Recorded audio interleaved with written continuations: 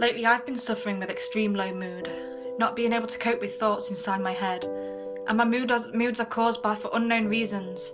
Yet, I am exhausting myself, looking for a reason to explain my depression, and there isn't one. Unknown reasons causing me to be sick to the stomach with anxiety. Could be stress at college, trying hard to get into uni, but struggling with my A level work. But I always tell myself it's not that. Maybe it's social media my phone going off every two minutes, and me not finding a balance to switch away from the peer pressure to look good online, to look like them models online, to have to, having to cope with the pressures of being attractive in selfies on Instagram, making a funny tweet for everybody to like and retweet, keeping up with the streaks on Snapchat, and trying to reply to the millions of Facebook messages received every day. I feel like I am empty, like the media and everything online is making me into a shell of somebody I am not. In reality, everything online is fake there's filters, editing, Photoshop, good lighting that make everything in other people's lives look perfect, but behind that camera or phone that captured that moment is probably another troubled soul suffering with the pressures that the world gives out to look good and be successful. Do we ever see the flaws and bad in people's lives?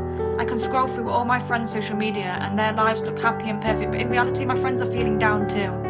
Nobody ever posts anything where they've just woken up, or have no makeup on, or look run down or ill, or anything that's not edited, and that cruel dark poison that the internet feeds is the reason why the world is so fucked up today.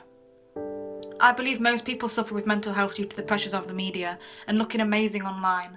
It's all about how many followers you have, how many likes and comments you get, and if you get on, then you feel disappointment and envy those that do get hundreds of likes and comments and do have a million followers. Social media has become a competition, and sometimes we all need to remember that what we see online isn't real. It's fake. The internet is a bad place, and you can lose yourself if you compare yourself to others. And it's time that you put yourself before others.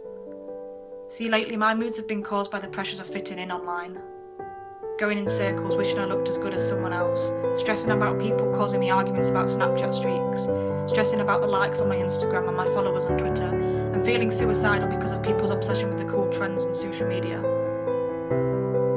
It's time I took a step back and loved myself before I end up hurting myself from pressures on the internet.